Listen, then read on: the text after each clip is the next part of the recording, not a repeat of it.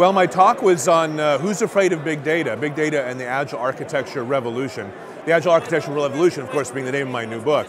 And the, the, the focus is really on how big data is not a fixed size, but continues to grow over time. So how do you get a handle on it, where any tool that you have will be swamped by the quantity of data, you just give it enough time. Uh, so you need to come up with a better approach for dealing with data governance that is inherently flexible and deals with change over time people really need to understand the level of risk that they're undertaking when they're taking on metadata management projects.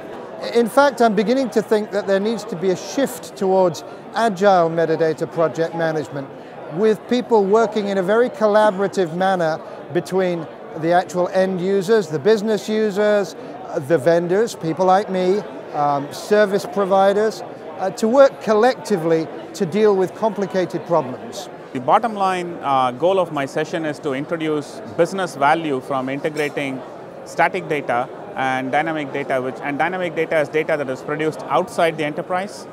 So that is the business value aspect, and the goal of the session is to help people understand what it means to data modeling, what it means to data management, what it means to data privacy, data eh, all points surrounding data. Well, the solution is agile architecture, right? So I get into the specifics leveraging uh, uh, pol representing policies as metadata to support automation of uh, policy-related processes, but then talking at the meta level about what it means to have a meta policy, which is a policy for how to do governance, and then how an organization has to deal at that meta level.